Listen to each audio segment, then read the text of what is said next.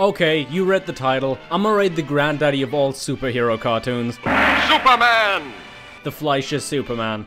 I'm currently writing a review for the entire series, and I didn't want to put reviews for each individual episode in there, so I'll be ranking them here. Have fun, I've never done a tier list before, so tell me how I'm doing, and like and subscribe while you're at it. Superman slash the Mad Scientist. A mad scientist invents a ray gun, rages havoc on the city, and kidnaps Lois Lane. This is the gold standard of all superhero fiction. I'd reckon it boosted the mad scientist trope just as much as Frankenstein did. Fuck Dr. Doofenshmirtz basically owes his entire existence to this dude. But besides that, it's really good looking. Just watch the way this ray goes up and melts down. It's so fluid, visceral, and awesomely Golden Age comics at the same time. I mean, if this was made today, all the riffers would probably comment on how dead these two would be from all the radiation this ought to produce. Here's not even something they would expect to be on the creators' minds, and that's weirdly liberating. By the way, this short lost Best Animated Short Subject that year to some hokey tug at your heartstrings, infinitesimally less influential Pluto short. Get off and stay! So yeah, fuck you, Mike the Rat. S tier.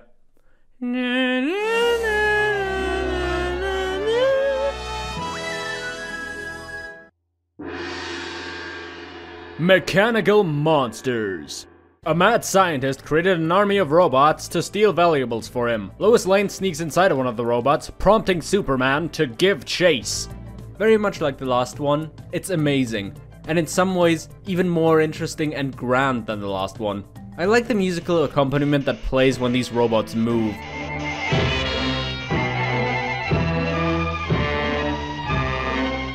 You can tell how this would eventually be taken to a whole new level by Miyazaki in Castle in the Sky. Also, awesome Tommy gun action. Though, if you pay close enough attention, the way this dude controls his robots with these four buttons and that dial makes absolutely no sense on several levels. I mean, neither does the scientist wearing a tuxedo or demanding Lois Lane to tell him where the missing jewels are. Well, she's gagged, but, you know, it works for show. Also, also, I love how the jewels just get strewn about in the landscape somewhere, but in the end it says they're all recovered. Like the Indian greeting his dog, bitch how? Also, dickhead, you should know you opened the hatch while in mid-flight. What the fuck did you think would happen to the jewels? Like, C tier. Fuck hog. Billion Dollar Limited. A train carrying a billion dollars in gold destined for the US Mint is hijacked by a group of thieves. Can Superman stop this engine headed for disaster? Again, amazing gunplay, action, everything. Very train pilled also. Though I do hate how in these shorts Lois Lane never gets to be the full-on hero. It's to be expected, but every time she does take action, it feels like it doesn't go far enough. There are some amazing animation tricks on display however, and all over the journey of this express streamliner at night is lovingly rendered. As is the thieves transforming car, this bridge collapsing, Superman saving the train, this guard's shadow, you get my point. Though, I did shed a tear when the locomotive exploded. S for steam power. Hear the of the engine, through Dixie The Arctic Giant. A terrific monster frozen in ice is let loose upon the city after an unfortunate accident causes the ice to thaw. This is literally just Superman fights Godzilla. It's pretty goddamn awesome especially since Godzilla wouldn't be a thing yet for another decade or so. Them size of the monster is pretty inconsistent, but they use it for great set pieces. I even heard that they referenced footage of the Tacoma Narrows bridge disaster for this bridge here. Very nice. I love the way this generator looks. This building looks comically stupid and out of place. Bruh. Also, Superman leaps here. It looks stupid, and we already saw Superman fly, so what the fuck happened here? B for Big Lizard.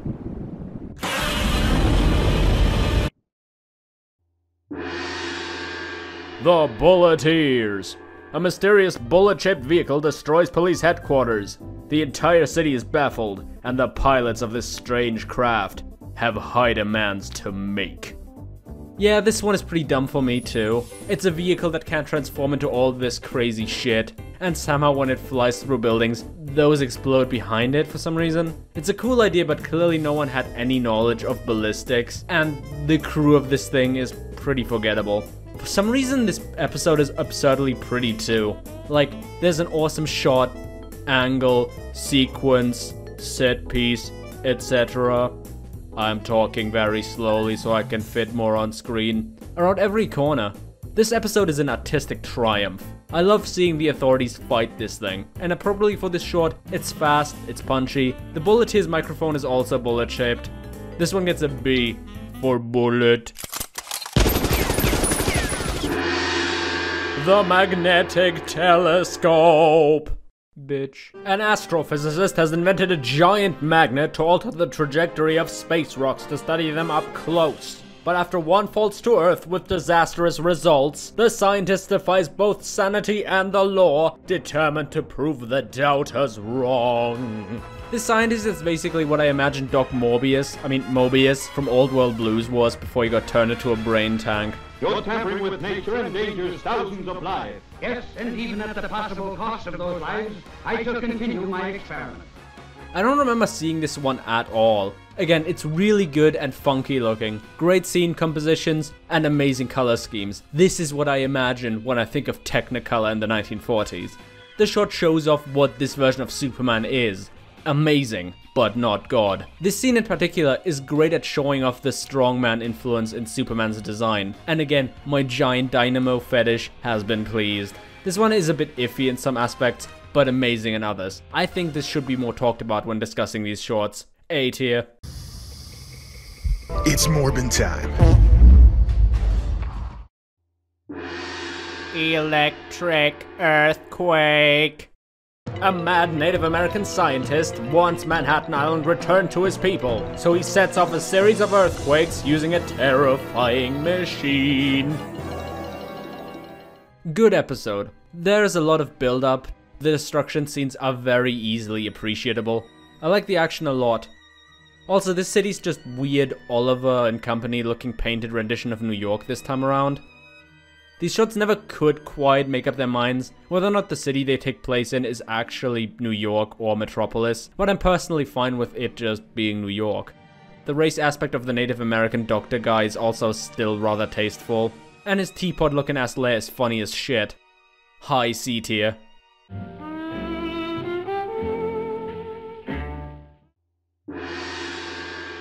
Volcano on a remote island in the Pacific, a volcano bound for eruption is threatening the very existence of a very peaceful town. Preparations are made to divert the flow of magma, to which Lois Lane and Clark Kent are sent in to report. But when the volcano erupts sooner than expected, things get hot. Can Superman stand up against the mighty forces of nature? Another short I don't remember seeing. This one stands out as an episode where Lois Lane actively hinders Kent from going up to the top of the volcano with her, so he has to be at the police station and sit on a bench. I think this gives us a great hint into the working relationship of Clark and Lois, and the opinion she has of him. Unlike something like the Arctic Giant where Superman just grabs an entire mountain of dirt to plug a dam, here, Superman solves the issue by just executing the plan the people at the site already had, just blowing up the backside of the volcano. And as a result, in this one, I do believe the vulnerability of Superman, and it's a fun watch. Let me turn this around and make it an A. Krakatoa! Terror on the Midway.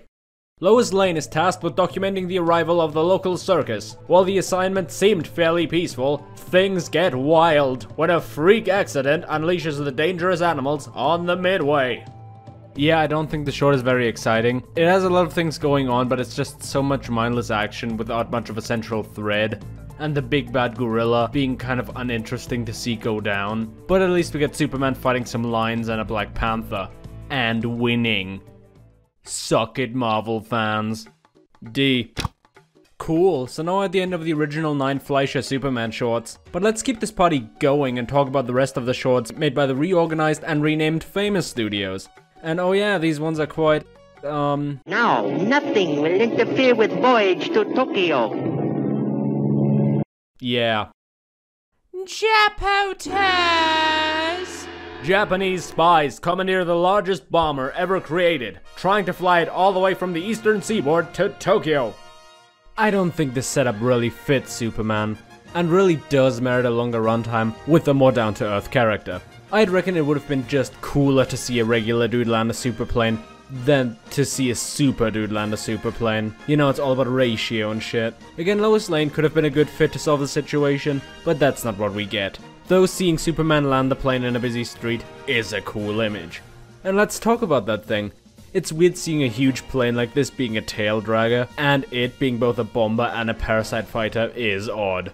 But since both are concepts so of their time, I kind of find myself liking the plane in a Crimson Skies Sky Captain in the World of Tomorrow sort of way.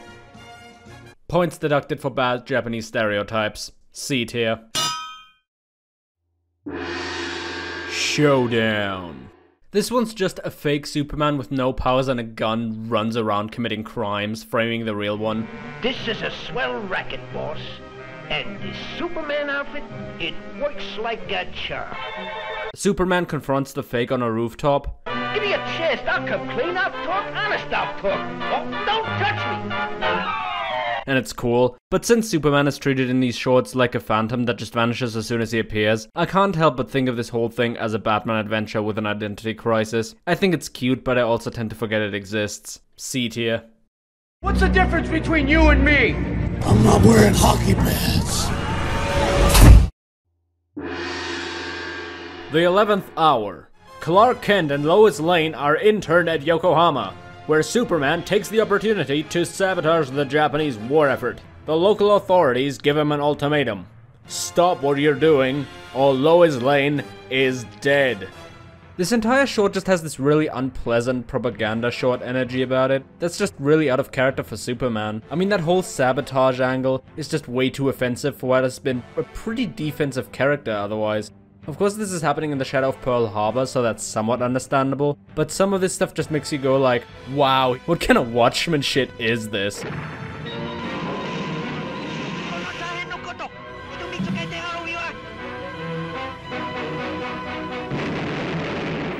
have walked across the surface of the sun. I like the firing squad angle immensely though. It's very pulpy and feels like it's got a pair.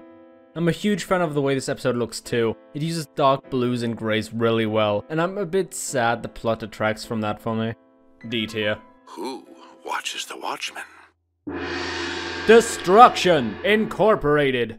The body of a watchman at the Metropolis munitions plant has been dumped in the swamp, so Lois Lane and Clark Kent go undercover, soon finding themselves deep in a sinister plot to blow up the plant.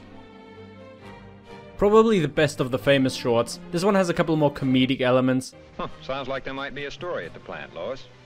Lois? Me name is Lois, not Lois. Gee whiz, everybody in interpolates me name wrong. But also amazing action and setups all the way. There's like five potential pulp covers in here. They put Lois Lane in a torpedo. Need I say more? A tier. Skip it up mm, and that up. The mummy strikes. A professor of Egyptology dies at the foot of the pharaoh's tomb at the local museum. His assistant is blamed for his murder, and both Kent and Lane set off to prove her innocence. Again, as a pulp story come to life, I like it, but it deserved a longer runtime and a different protagonist. It's weird in all the good early 20th century fiction sort of ways, and has a couple of twists and turns, but a good two and a half minutes is exposition about the mummy, and it has little active character participation. As I said, it's cool to see more of Clark, but in the end, the mummy comes to life part and the professor dying part don't fit together, and neither does Superman punching his way out of this one. My pulp novel loving, slower paced weird fiction enjoying brain wants to rank this higher, but then I remember the mummies don't even strike until the last minute and a half. Incidentally, who told you I was at the museum? My mummy done told me. D. For dead guy. Jungle Drums.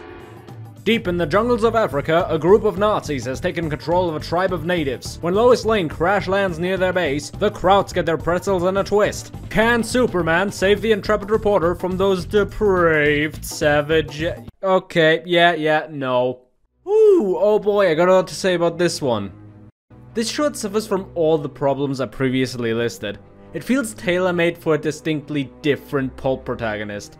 It's too short with way too much going on, with Nazis, tribals, plane crashes, a convoy, U-boats, and secret intelligence, and the situation being resolved absurdly quickly, in kind of a rocks fall and everybody dies sort of way. Almost literally in this case. But at least the rocks got American flags painted on them. To be honest, I'm not even sure how a jungle temple with tribals has anything to do with anything, but it's here.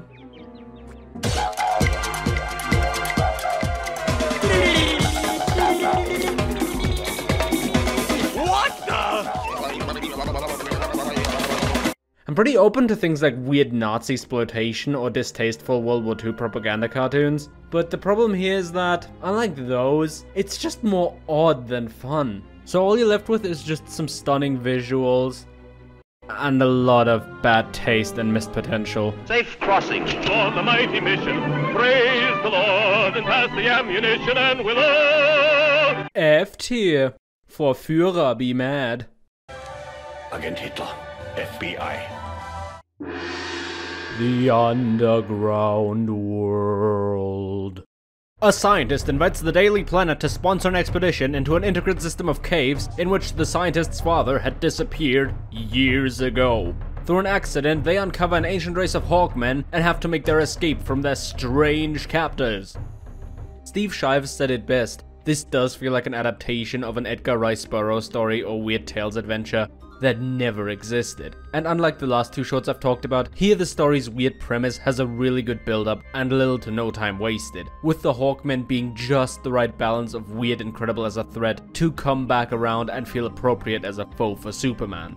They do another silhouetted savage dance, but this one feels more understandably eldritch, with the whole turning over overlanders into gold statues thing being really macabre. And I love how even Superman sounds totally weirded out by all of this. This is a job for Superman. The no one would ever believe this anyway ending makes this perfect. It's really a great story, Lois.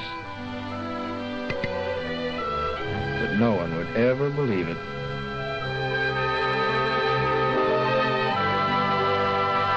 B for bird. Secret agent. Dangerous renegades steal Clark Kent's car in pursuit of a double agent carrying sensitive intelligence destined for Washington. But in doing so, they messed with the wrong guy. Good short. Again, it suffers from being a really cool pulp magazine film noir type setup in a series with the wrong protagonist. Clark Kent is knocked out for most of the episode. No, they don't explain how, go sit yourself down. And when he does come to, it's pretty exciting. But to me, the highlight is the action of the female spy and the German spies. It's very brisk and fun, but not necessarily deserving of being the last in the series. Still, it does well. It's interesting, it's thrilling, and offers some damn impressive shots for the 1940s. I would not have believed it if you told me the mechanism of this bridge wasn't done with the aid of CGI, for example. I really like how it renders these down-to-earth scenes too. These vehicles, the action, and the gunplay. It's just all wonderful. It's without a doubt the best World War II centered short. It's moody, got a great atmosphere, and again, feels like the G-Men type detective fiction Billion Dollar Limited echoed. C for Yeah! It's a party every week, baby! So, that marks the end of my tier list. My takeaway looking at all of these is that even the shorts with flaws are without a doubt outstanding, at least visually. And that makes it really hard to make a definitive tier list, especially since these are just decadent little treats to just put on and appreciate. To me they strike the perfect balance between superhero bullshit and classic superhero fun. So if you got anything more to say, leave a comment.